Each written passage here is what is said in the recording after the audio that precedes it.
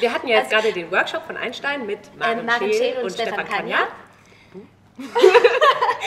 äh, genau, und ähm, ich fand, es war sehr, sehr schön, weil dieses Zusammenkommen, also wir haben zwei Tage ähm, musikalisch geprobt und jeder hat seine Sachen gemacht. Dich füllt das Universum. Das Schönste war eigentlich, dass dann beim Reading zusammenkam, wovon die einzelnen Personen gesprochen haben, weil die einen haben gesagt, aha, es ist so witzig, die anderen haben gesagt, was, es ist eigentlich ist es doch total traurig.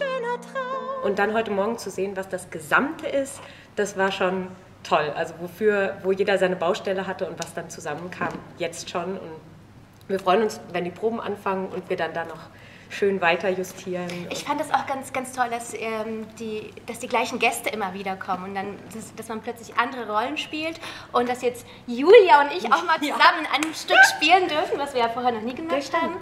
Ähm, aber jetzt so, so andere Leute wie, wie Chris zum Beispiel oder... Äh, oder Chris. Oder der andere Chris. oder Christian. oder Leon. Ähm, ja, stimmt, Leon. Ja, ähm, toll. Da freuen wir uns drauf. Und die Musik ist der Wahnsinn. Und jetzt gehst du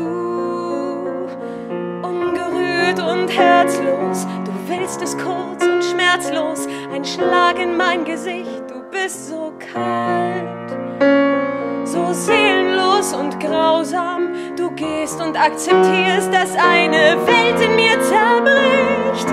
Weißt du noch, zwei Professoren, alles neu zusammen sehen, alles nur gemeinsam denken, ungeahnte Wege gehen. Wir wollten alles teilen, jeden Atemzug und Schritt.